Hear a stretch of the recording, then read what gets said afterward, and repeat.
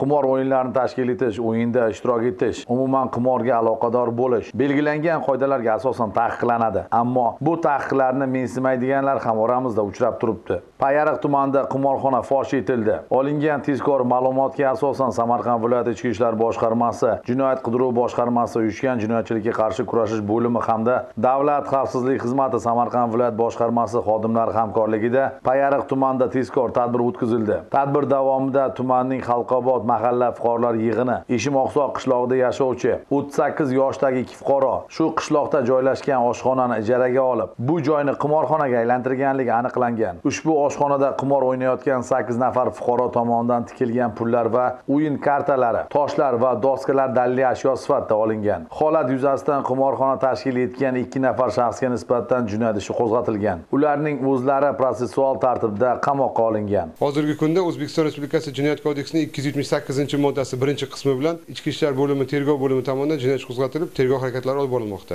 So'ranishimdan pushaymonman. Kechirim so'rayman xalqimdan, prezidentimdan. halol mehnat bilan pul topish mumkin. Nega faqat og'irning ustidan yengilning ostidan o'tishga harakat qilamiz? Bizdan kelajak avlod qanday o'rnak oladi? Bu ishlarni boshdan do'ppini olib o'ylaydigan vaqt kelmadimikan? Xulosa o'zingizdan. Bu kun chingiz norqulov bahodir shafiyev samarqand